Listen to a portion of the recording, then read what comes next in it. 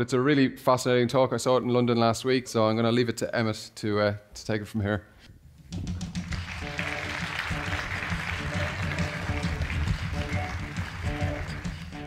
This is a film called Powers of Ten. Uh, it was created in 1977 by Charles and Ray Eames, the designers for IBM.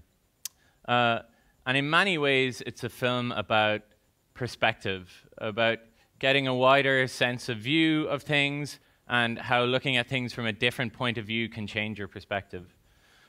And it's also about orders of magnitude, about how difficult often I think orders of magnitude can actually be for us to comprehend. So it starts off here at a lakeside by the, uh, in Chicago, and it gradually zooms out, and it actually keeps zooming until we're all the way at the outer edges of the universe. Um, and so that's why it gets its name Powers of 10. Every 10 seconds, we're 10 times further out. The other thing about this film is that I think this is one of the most interesting points of view that we actually have as a result of this film. What this obviously gives us is a view of the entire planet Earth if we stop zooming out at this point. To me, this is an almost like primal aspect of, uh, of, of, life on Earth. What I mean by that is uh, I can't imagine a, a, version of, of life where this view doesn't actually exist. It's almost like maybe the Mona Lisa or something. I just can't imagine even a state where this view didn't exist and I didn't know about it. Even this long zoom out view is kind of interesting. It's a little bit like Google Earth, right? Uh, it seems kind of familiar to me, uh, no big deal. But in 1977, when this film was made, there was no such thing as Google Earth. In fact, this was a totally, totally different perspective on the world. And it was probably quite mind blowing to anyone who watched that video at that time. So it's really interesting to me how uh, technology we often can take for granted. But when you think about these things, these technologies, these views that we get afforded, uh, they change our perspective on things. And that is what I'm going to try and talk about today. So 10 years before Powers of 10, in 1966, we didn't actually have a picture of ourselves from the outside.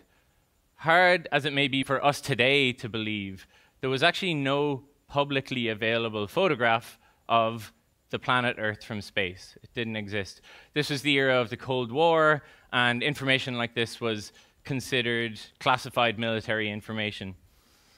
And the story goes that uh, in 1966, uh, a young guy called Stewart Brand was uh, sitting on the roof of a building in the North Beach neighborhood of San Francisco. And he was in the maybe the state of mind that you might expect a young guy in San Francisco in 1966 to be in. And, you know, perhaps somehow aided or affected by that, he was sitting looking out at the horizon, um, admiring the view. He had a great view of the city. And he, as he looked out at the horizon, he sort of imagined that he could see ever so slightly a kind of a curvature, the slight curvature to the earth. And furthermore, he kind of imagined what if he started to zoom upwards himself from that point of view, kind of like an out of body experience. And as he would rise further up, the curvature would slowly increase more and more until it actually turned into a circle. And he was, in some sense, all the way back out in space, looking at the entirety of the earth in one single field of vision. And again, perhaps aided somewhat by his state of mind, he had a kind of a realization, an epiphany, uh, that if only everybody in the world could share this perspective, could share this point of view, then it would change our actual perspective on all sorts of different things about life on Earth, about war, politics, environmentalism, and so on. And so when he finally made it down off the roof again, he decided to go and make these buttons and give them out to people and ask people to petition NASA to release a picture. And somewhat surprisingly, it actually worked. That led somewhat directly the following year to the release of the very familiar and famous blue marble photograph that we all, that we all know today. Of course, this was also the era of the space race. Um, It was a period of intense technological optimism, intense progress, and ambition. And throughout this era, it really felt to a lot of people like, in some sense, uh, there was technology was collectively driving them towards literally some new place, towards some new future. And looking back and reflecting on this, the philosopher David Loy had this to say. I think that for me, like for many other people, it was quite a shock. I don't think any of us had any expectations about how it would give us such a different perspective. I think the focus had been we're going to the stars, we're going to the other planets, and suddenly we look back at ourselves and it seems to imply um, a new kind of self awareness.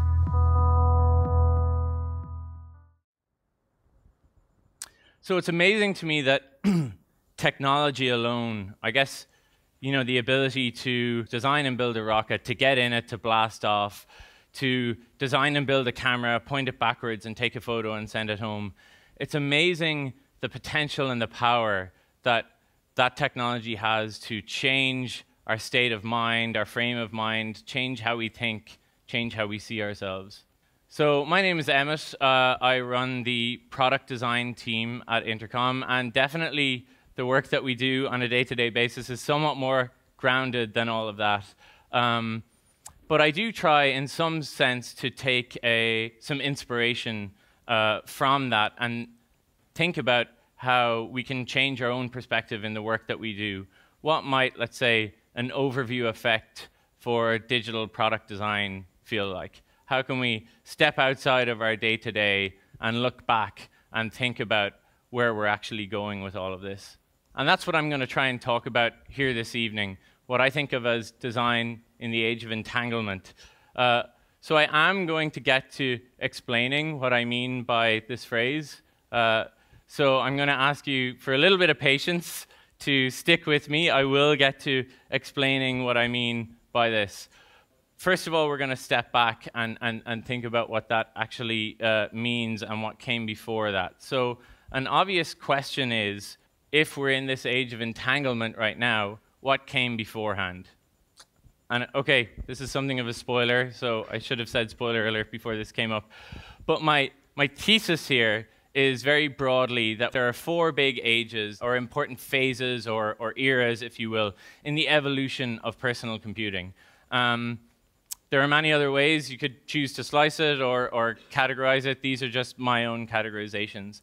And my main idea here that I'm going to talk about is that we have already gone through three ages, three eras, uh, and that we're right on the cusp of a fourth. This may seem like a somewhat kind of scary and maybe exciting place to be, um, it means that everything is up for grabs. So this is somewhat our, our zoomed out kind of our whole Earth view of what we're talking about. Now what I want to do is briefly zoom into each one of these individually, uh, and then we can get on with, with getting entangled. Let's look at the first stage, the age of augmentation. The notion or the idea of technology augmenting human intellect is not a particularly new one. It's not very groundbreaking. So, for example, if you're a bit better than me at mathematics, you can probably do some relatively complex arithmetic in your head. Uh, but if I asked you for something, like if I said, what is the square root of 2,397 times 12, you're probably going to be stuck. Even if you have the answer, I don't know what it is, so don't shout it out. But now let's say I give you a pencil. Let's say I hand you a pencil. This is a relatively simple piece of technology. It's wood pulp, uh, some graphite, maybe I give you some paper as well. Now equipped with this piece of technology, you can probably solve that problem in under a minute. Just by giving you that technology, you've augmented your ability. You have extended your cognitive capacity. So the notion of augmentation in itself isn't particularly new, but for me, the era of augmentation, especially as it relates to personal computing, began on the night of December 8, 1968, at uh, the Stanford Research Institute and an event that was held there that has since become known as the mother of all demos. Stewart Brand was there. He was the guy who climbed down off the roof uh, and made the buttons. You can see he's actually wearing one right here. But he wasn't just a, a acid dropping, roof climbing, button making hippie. He was also deeply, deeply involved in the technology scene in the Bay Area in the 1960s. And like I said, he was there on that night in December 1968. He was actually the camera operator at the mother of all demos. But the real star of the show was this guy. This is Douglas Engelbart. And this is a video of the actual demo from that night.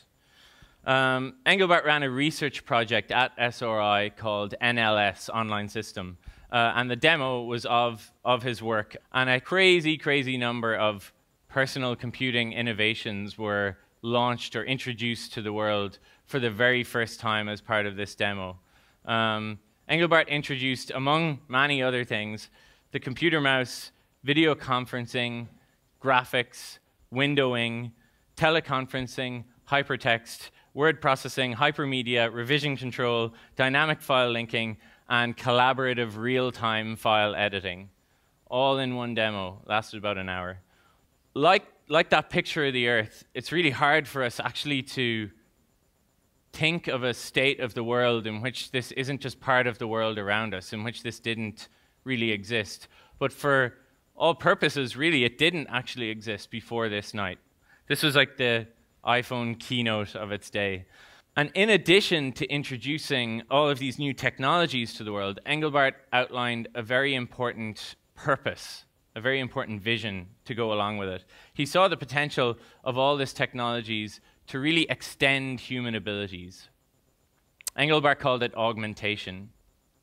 He said, by augmenting human intellect, we mean increasing the capability of a man to approach a complex problem situation, to gain comprehension to suit his particular needs, and to derive solutions to problems. What I really take from this is Engelbart was thinking incredibly, incredibly broadly. He wasn't just trying to create a new product or build a new app.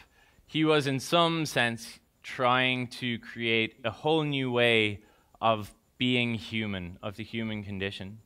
So the age of augmentation that started on that night in 1968 has basically been continuing ever since.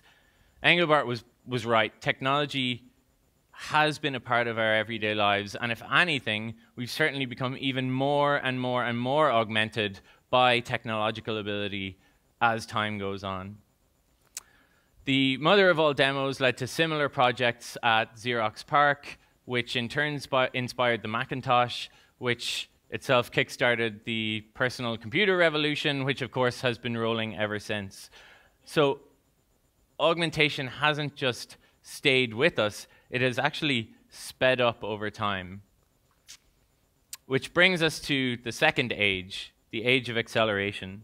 I've pegged the start of this one at November 15, 1971, when an advertisement first appeared in a magazine called Electronic News for the Intel 4004, the first commercially available microprocessor. Um, this is the ad. It might not look like much. It might look, look, look like the start of a new era, but, but in my opinion, it is. It was certainly maybe the start of the standing desk era, so it was worth something at least there. This is Gordon Moore. Gordon worked at Intel at the time of the 4004. In fact, he was a co-founder at Intel. Um, and here he is, pictured with, in some way, a descendant of Engelbart's inventions, augmenting his own ability to, to do work, right? Um, and using these tools and others like them, he invented his own. So there's like a bootstrapping element to this. Um, Gordon Moore also made some interesting observations. This is what Gordon is probably best known for. This, in my opinion, is the single most important chart in at least the last 50 years of technology.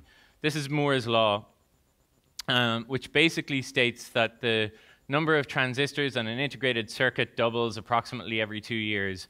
Or in simpler terms, it means that computers get smaller and faster and cheaper at just this remarkably consistent rate, and, and this has held true since the early 1970s. It's just an insanely consistent trend. Um, and it is the trend that has propelled and driven the entire computer industry since that observation was first made. What's more, and what's also really interesting, is that you can extend this, right? You can extrapolate it. So imagine like a dotted line continuing at the top of the chart there. You can actually use this to guess with very, very near certainty what is actually coming in the future. And this certainty is also what has propelled the computer industry since the early 1970s. Just by way of illustration, this is what a 5 megabyte hard drive looked like in 1956. This weighed about a ton, and you could store the equivalent of about one MP3 on this bad boy. And this is what uh, one terabyte uh, thumb drive that you could buy off Amazon looks like today. Uh, about 200,000 MP3s. That's the equivalent of about maybe a year and a half of non-stop, constant 24-hour music listening. Um, and you don't need an airplane to carry it around either, which is handy. So the age of acceleration, which started with Moore's law, it's been moving ever since. Computers have gotten faster, and they've gotten cheaper, and it simply hasn't stopped. Um, and that trend has combined with the ongoing augmentation that has also been increasing by virtue of the fact that we're building more and more software over this period. And so we start to see something really interesting here. These aren't discrete ages. One doesn't end as the next one starts. They actually build on each other, they compound. And then, of course, everything became connected. August 6, 1991, the first web page went live.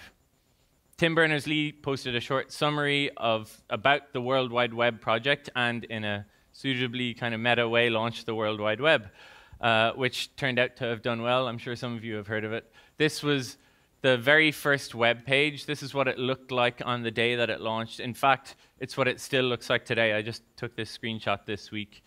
Um, Berners-Lee was working at CERN at the time. It's a nuclear research facility in Switzerland. And if I am totally, totally honest, I can't actually tell you what creating the web has to do with nuclear research. Uh, but I like to tell myself he was basically just dicking around when he should have been doing real work. And so it seems like a pretty apt start to the web anyway. So I'm happy uh, to go with that one. And this is the actual machine in NeXT box that that first site was hosted on. So this single machine once hosted the entire web. Um, this is a total, total aside, but I don't know if you can see what it says on the sticker there. It says, this machine is a server, do not power down. Like, please nobody plug out the web. Uh, and what's more, some early internet troll has clearly come along and tried to peel it off. So I just feel like all of internet culture is basically uh, comes from this one sticker. Okay, so again, connectivity got layered on top of what already existed there. Uh, each of these eras continued and compounded and complemented each other to basically create the modern personal computing landscape that we enjoy today in 2016. These are the forces that have brought us to the incredible place that we're at today. It's what has led to the world essentially having smartphones. This has just been the most fantastic cultural and technological change that I can really imagine. I, I, feel like we probably can't quite comprehend the magnitude of it. It's that thing we're still in the middle of it. We haven't pulled out. We don't have a sense of perspective to really see what it's all about. But billions of people, including among the world's very poorest, now have access to information and access to communication. Uh, via supercomputers that they carry around in their pockets. The digital divide that people talked about just a few years ago has basically evaporated. Um, and all of this change happened in under a decade. This is what happens when these forces combine augmentation, acceleration, connection. So this is a wonderful and really literally world-changing and profoundly leveling thing for all of humanity. Uh, and it seems like a great point for us to have actually reached. In fact, I think we should take a second. Here we are. We have done quite well. Uh, everyone on Earth, pocket supercomputers with, you know, that augment their ability to communicate and, in some sense, has given us this emerging global consciousness. Just compare for a second that super abundant access to information with the situation that we were in just half a century ago, where none of us had even seen this photo. That, that change, that's my overview effect that I get if I step back and really think about the story so far. So we've had our three ages of computing. We're all up to speed. We're looking good. Everything has been quite awesome up until now. We're feeling quite quite proud of ourselves in some way. We probably just need to kind of chill out, relax, wait for a fourth age to come along. That's probably going to be quite cool, right? All that needs to happen is for all of these trends to continue unabated, uninterrupted, and everything will be perfectly fine. Nothing will go wrong. That's all that needs to happen. So it'll, be fine, right? No.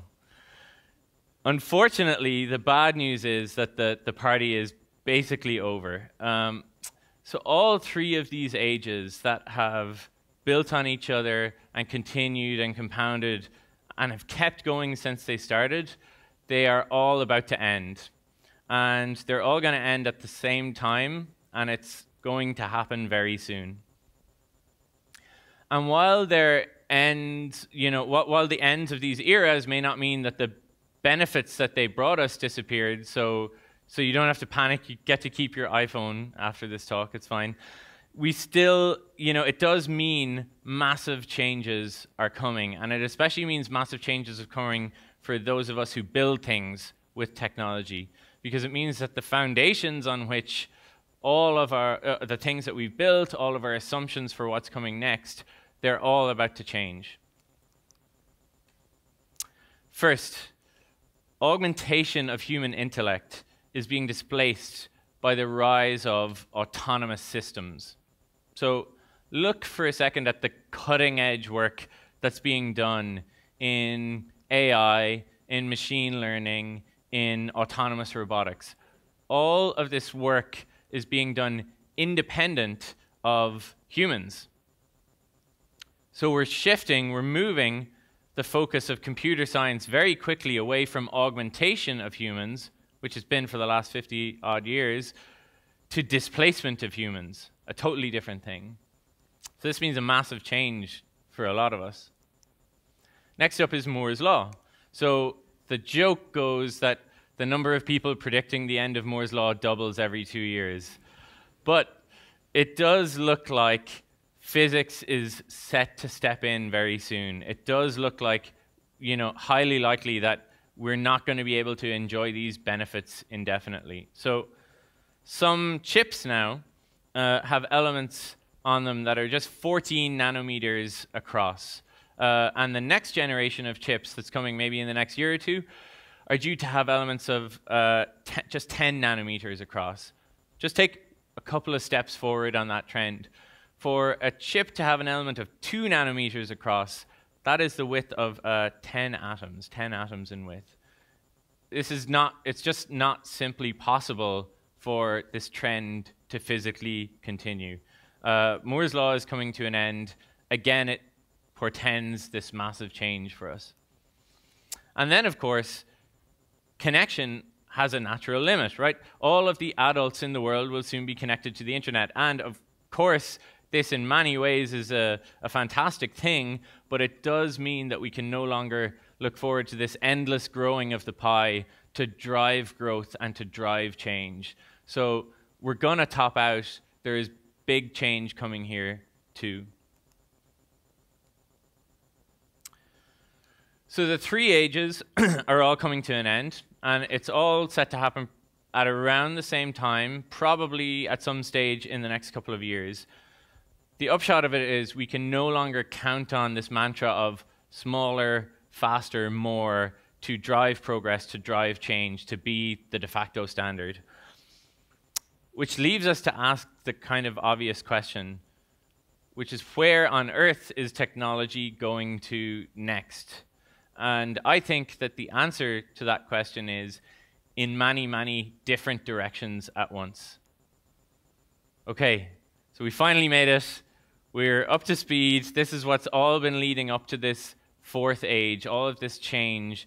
Uh, and in many ways, to me, that's what this age of entanglement is all about. It's as much a, a transition away from the stability and knowability and predictability of these previous ages as it is the beginning of some new trend, some new thing.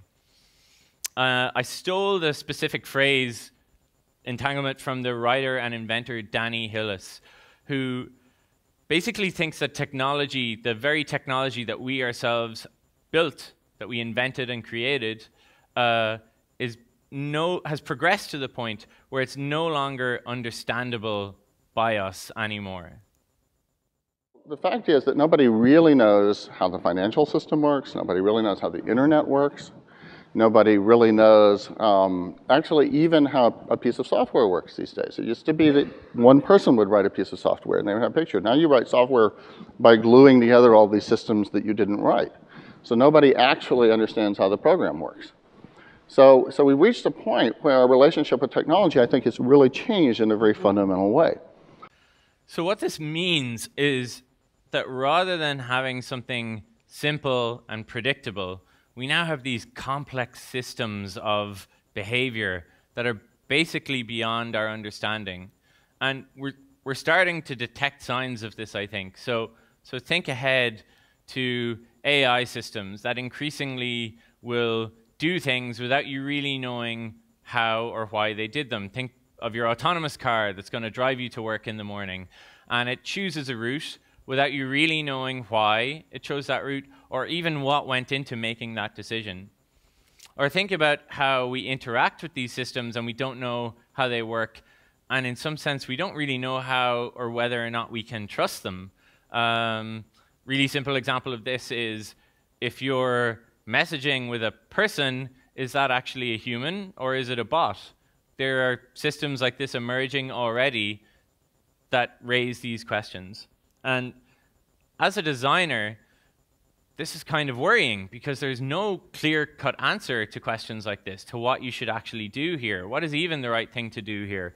Uh, you know, just like programming used to be simple, design used to be relatively straightforward. We even gave it a nice, simple name that described its knowability human computer interaction. It was about input and output cause and effect. You click on a thing over here and something else happens over here. So it was relatively straightforward. But now we're in a much more complicated operating environment. Now we've got this vast array of people and connections and behaviors and artificial actors all played out across this immense global scale. How do you even do design in a scenario like this? It's almost as if we've gone from being asked to design simple buildings, relatively straightforward, to design entire cities and to have some idea of how it's all going to turn out at the end.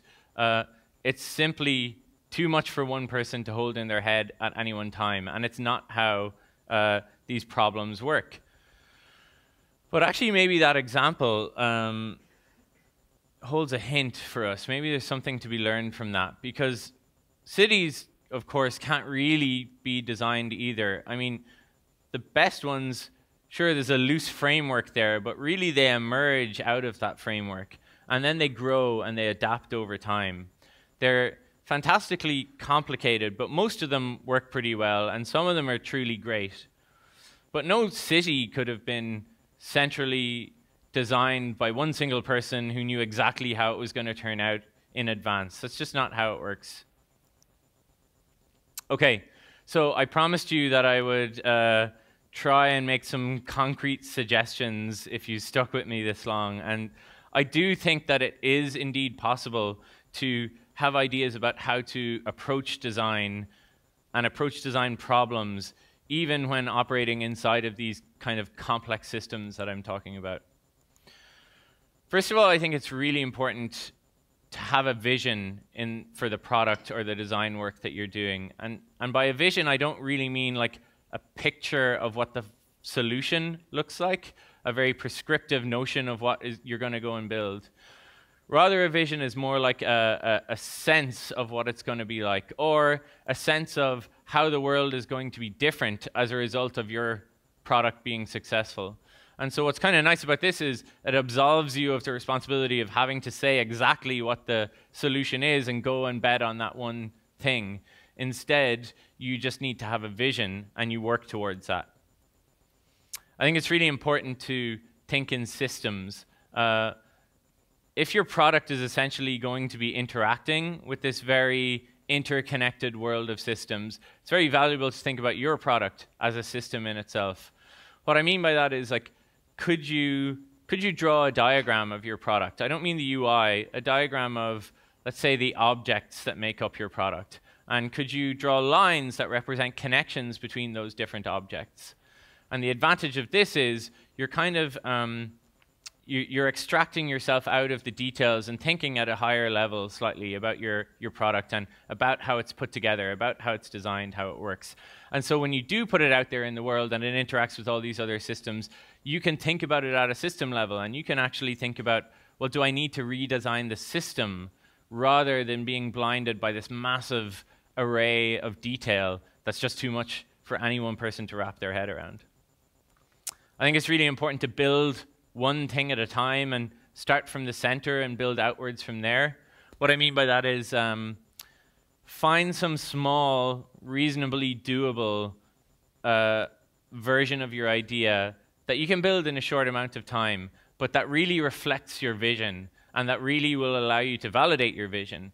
And from there, you can start to gradually add layers around that. And what will happen over time is the layers that you add will be different because you'll get to see as, as you add each new layer how people react and how the world reacts to your product. And so the last thing that I would say is kind of paired with this is that it's really, really important to observe as you add each of these layers what's actually happening and be willing to iterate in different directions that are maybe not at all what you would have thought up if you had tried to imagine it all from thin air from the very beginning. The good news is that if you look at these, they're actually pretty normal design principles. There's nothing too crazy about them. In fact, these are the types of things that most good designers have probably been doing anyway. So maybe it's the case that sensible design isn't set to change all that much. Maybe, maybe we don't really need to be intimidated by the prospect of all of this change. many, many systems, if you really dig into them, um, follow a similar set of emergent patterns and behaviors, whether it's ants or cities or people or organizations or networks or maybe even software. And in a way, all of these things are interconnected. They very much share at least common traits, common behaviors, common emergent uh, uh, properties. And this is really what, to me, this age of entanglement is all about. It's the opportunity to recognize and draw parallels between disparate things, to take a bunch of different threads and weave them together into some new combinatorial possibility. It could possibly be the case that software is graduating from its earlier simple binary primordial state uh, to becoming a more fully fledged part of the natural world. Something that is probably more organic, and yes, it's more uncontrollable, so there's certainly complexity to contend with, but there's also beauty to the emergent behavior there. That's, that's really what I get if I zoom out. This is what design for better or for worse has become a wonderfully rich entanglement of different ideas and technologies and trends and cultures and patterns. And I think as designers or as makers or technologists or just people who are interested in the adjacent possible, I think it's, it's kind of incumbent on us to try and become comfortable with this, to embrace the chaos of it uh, maybe it is the case that what we've all become used to up until now this sense of knowability, the sense of predictability about how technology works and, and, and the future. What if that sense was just a temporary aberration that we got to enjoy for the last little while? Uh, what if we're moving back to a more natural state with technology taking its rightfully uncertain place in the world? Douglas Engelbart was certainly in that position at the beginning. He was not really in a position to have any way of knowing what was coming next, any stable sense of what the future held. So instead, he had to create a vision and he had to start a project and he had to just follow that thread to see where it would take him. And I think it turned out that it took him and it has indeed taken all of us in some very interesting and rewarding directions. Thanks for listening.